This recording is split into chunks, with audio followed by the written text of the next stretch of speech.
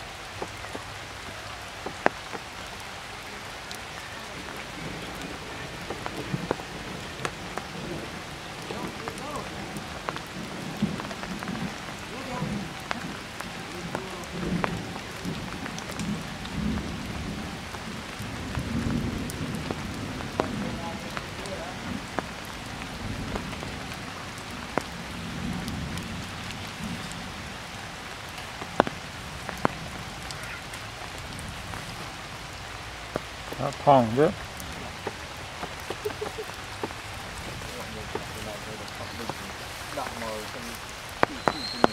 nên từ